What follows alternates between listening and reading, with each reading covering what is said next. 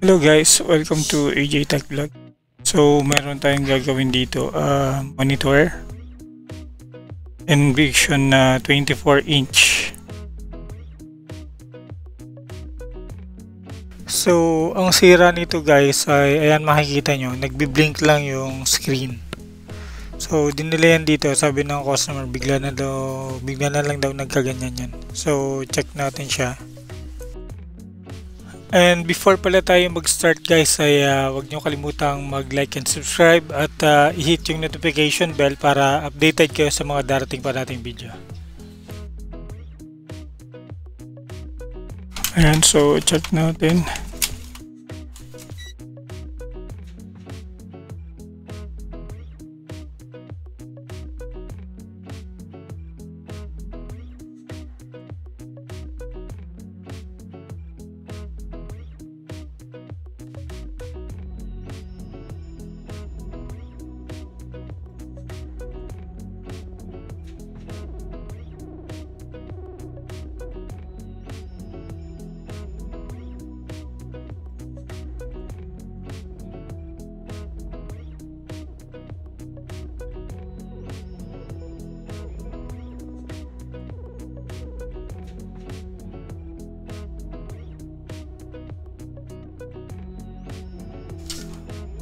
Pero bakit nagbiblink siya kanina?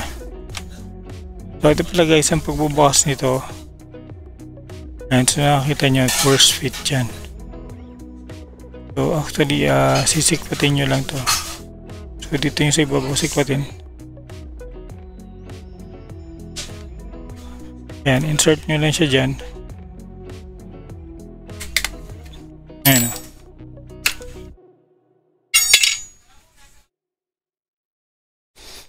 Check natin.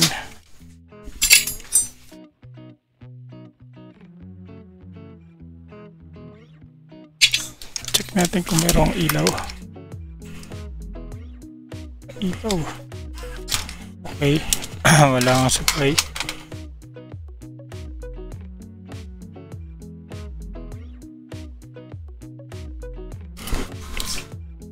Hindi, zoom natin para makita nyo.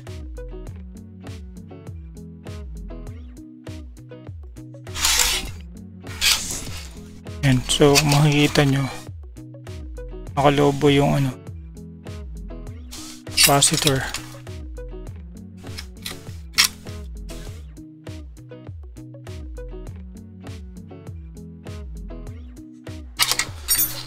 So, check natin kung shorted.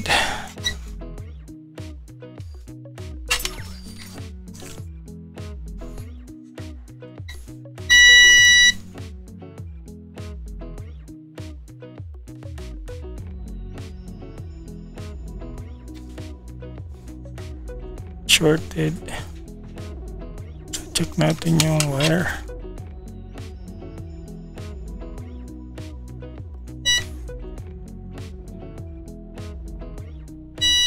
good din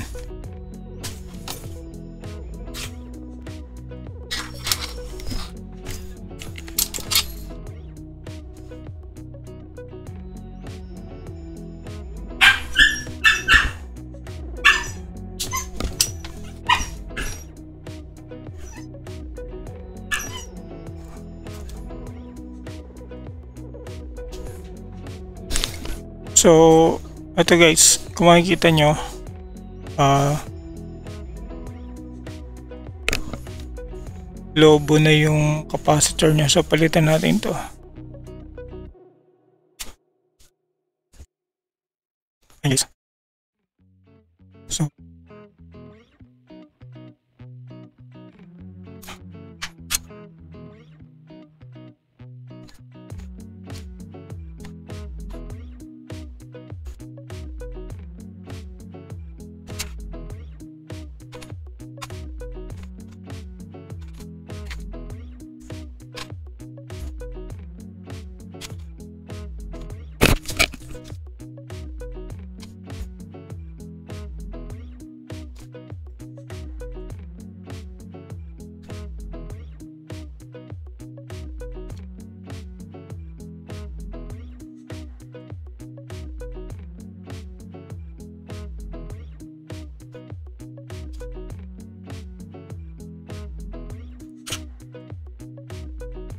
Ayun, so wala akong ano guys, same value nung ano. So ang value kasi nito is ano.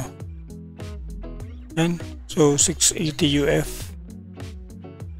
Ah, 16 volt. So ang gagawin ko is uh, kasi wala akong available na mas na malapit dito na higher. So lagyan ko na lang ito ng 1000 UF.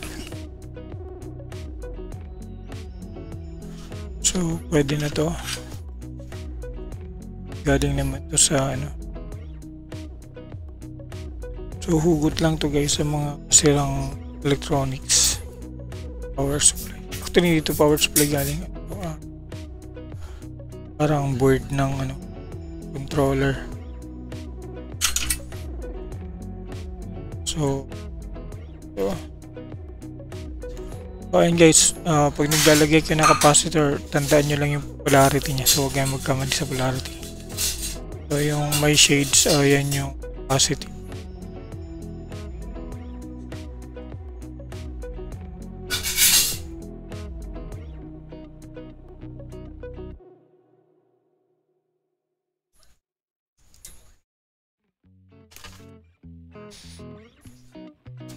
Ayan, so, natin.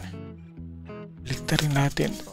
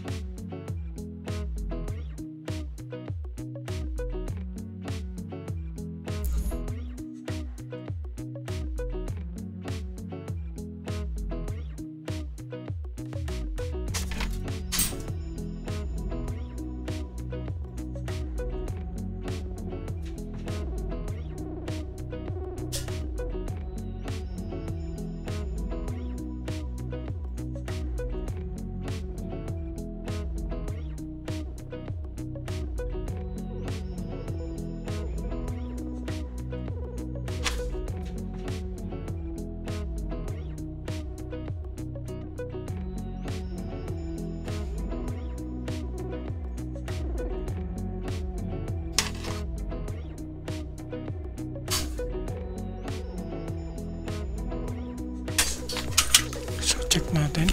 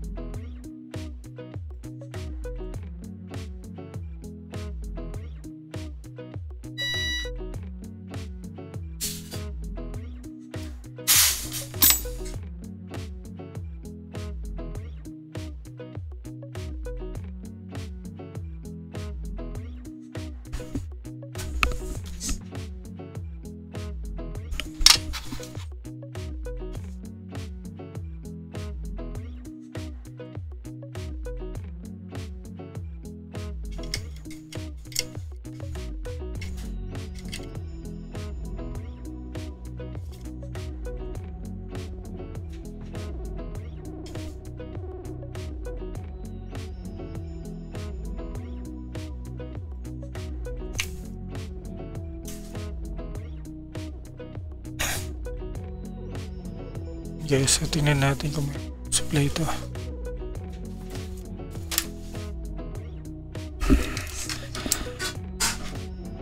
Oh.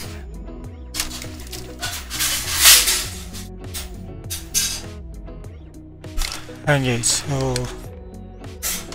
uh, nag-power na siya. Umilaw na yung kanyang, ay, yung kanyang LED. So, balik na natin. Sukatan na lang natin to. Ayan, so pagbalik nyo guys, make sure na nakatapat to.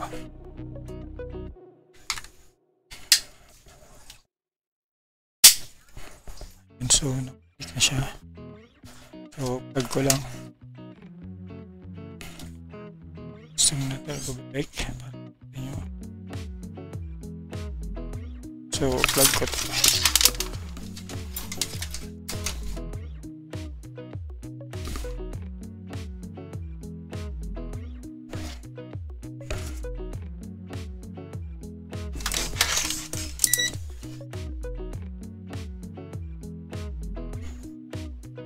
Ayan guys.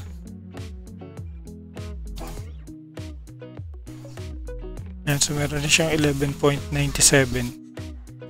So kanina, isa totally nawalan siya or nagpa-fluctuate yung voltage. Ayan, so stable yung 0.97 natin.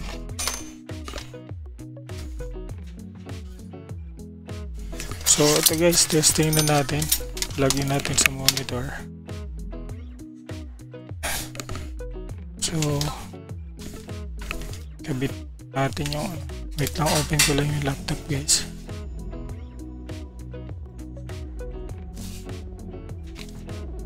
Nakasama testing na ito. so, salpak na lang natin sa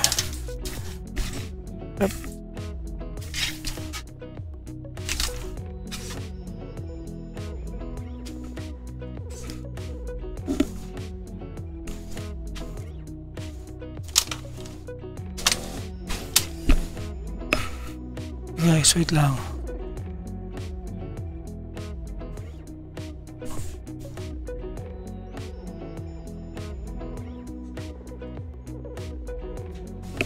Saksak ba to?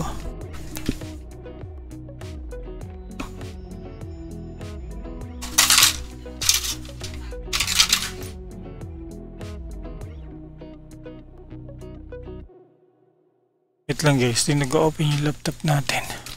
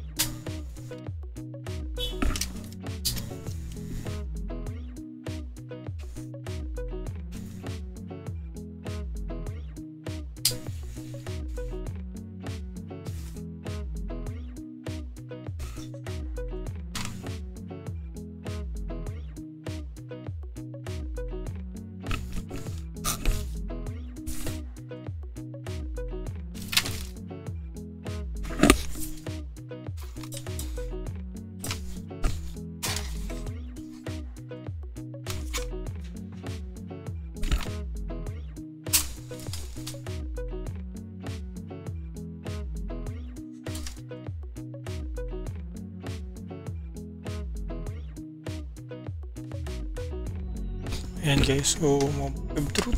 Tingnan natin kung may ano na siya. So kanina, nagbi-blink-blink. Ayan, so nagbi-blink-blink lang siya kanina. Ayan guys, so makikita niyo may display na siya. So, success yung ginawa natin guys. So, ang problema lang pala pag nagbi-blink-blink yung monitor, papatay hindi is yung power supply. So, ito yung pinalitan natin guys. So, kung may ganito kayo may encounter, pwede nyo i-DIY to. So, ayan.